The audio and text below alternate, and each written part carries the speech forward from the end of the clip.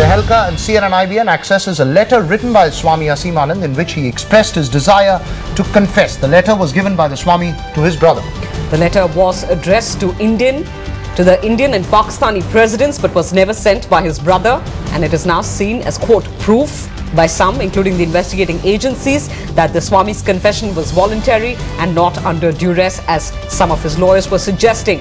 RSS leader Aseemanand had written a letter to the president of India and uh, his Pakistani counterpart. Aseemanand explains his change of heart after meeting a Muslim boy who was falsely implicated in the Malegaon blast. He says we're quoting uh, from the access letter here. Aseemanand gave these letters to his brother, but these letters have not been received by either of the president's office. These letters were written by Aseemanand in his own handwriting, we are told, on the 20th of December 2010.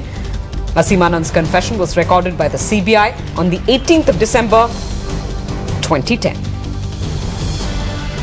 Fred National Bureau Chief Bhupendra Chaubey now joins us live. Bhupen, uh, the crux of this letter and what it indicates is that the Swami Aseemanand confessions were voluntary and not under duress as those who are close to him have claimed. What had happened was that last week, after CNN and IBN first showed these uh, uh, the confessional statement of Swami Aseemanand, which was recorded before the CBI along with Tehelka, there were many who were close to Aseemanand and elements within the Sangh Parivar who were arguing that actually this was not a confession which was made by Aseemanand himself, but this was a confession which was forcibly taken by Swami Aseemanand.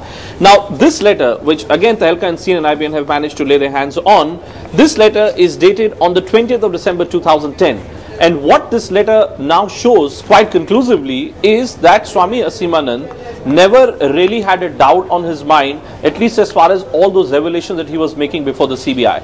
The two important points to underline here is that this is a letter which actually never reached the president's house. So it was only there with the brother of Aseemanand. The investigators, we have been told, are aware of this fact that this letter was written, but this is not yet a part of the official case diary. It has not yet been made a part of the official court documents. When they will be made, will Aseemanand also officially give a copy of these letters to the CBI? I think that's something which will be known within the next day or two. We spoke to the lawyer of Aseemanand and then asked him if now with these letters becoming public, he was willing to change his stand on the fact that the confessions which Aseemanand had made on the 18th of December were confessions which were made under duress. No such document, any letter has come on the court file. Because it is very premature to comment on this because after the putting of the challan by the NIA in this case, then we can only comment when the, these letters come on the record. He has been falsely implicated and uh, these all these statements are not his voluntary statements. He is saying this in general.